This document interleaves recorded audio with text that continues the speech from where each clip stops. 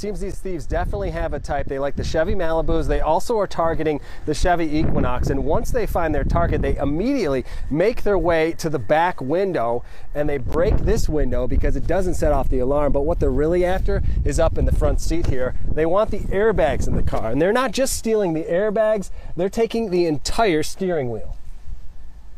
When I looked up, I realized it was my back driver's side window was broken and glass all over the place. A woman in Eastpointe says she woke up to discover her car broken into, but since she doesn't leave valuables in her car, she wasn't too worried. Not a big deal. Opened the driver's side door and I had no steering wheel. Eastpointe police say over May 2nd and 3rd, they alone took 11 reports of this exact thing happening. Thieves taking entire steering wheels, all for the airbags inside the steering wheel a trend that started when factories slowed down during the pandemic. That's when we started noticing a lot more of them coming in, and with the shutdown, you know, it's just pretty hard to get the parts. A shortage of supply creates a black market for the airbags. Mechanics say the thieves in turn sell the stolen goods for a few hundred bucks to shops that won't ask questions. This is straight cash. You can take it to different shops that maybe will be able to buy that and give you cash for it immediately, and then they can just go and put it in a car where this happened to them. So.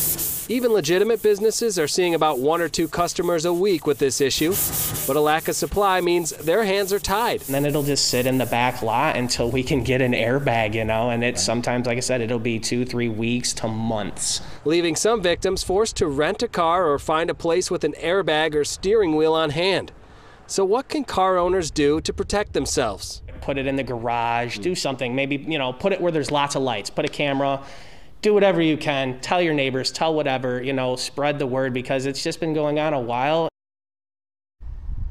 And another tip that was offered is to buy an anti-theft device like a club. Put that on your steering wheel, and there's even something called a disc lock that you can buy online, and you can put that right on your steering wheel. Just anything to deter a thief if they come across that. Maybe they'll move on, try to find an easier target. Reporting live tonight, Dave Spencer, Fox 2 News. Dave, these thieves could be in and out in a few minutes. How much does it cost to repair the damage?